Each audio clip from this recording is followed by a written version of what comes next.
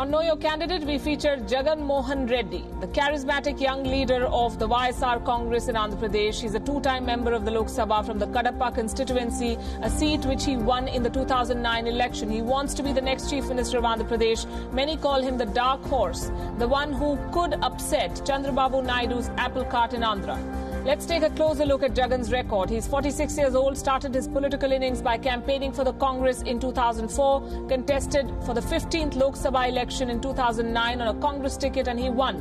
But after the demise of his father, Y.S. Rajshekhar Reddy, Jagan Mohan fell, felt sidelined. He fell out with the Congress and he resigned. There was a by-election in 2010. He won Kadapa with a margin of more than four and a half lakh votes. In 2011, he fo- floated his own political outfit. It was called the YSR Congress, named after his father, Y.S. Rajshekhar Reddy. Now for his Lok Sabha performance. His attendance was a meager 33%, well below the national average of 76. But even on days when he was present, he did not engage. Jagan Mohan Reddy participated in just two debates. The national average is 34.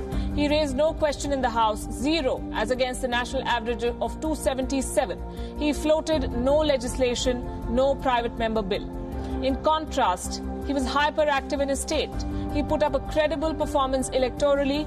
Jagan Mohan Reddy has inherited his father's political acumen.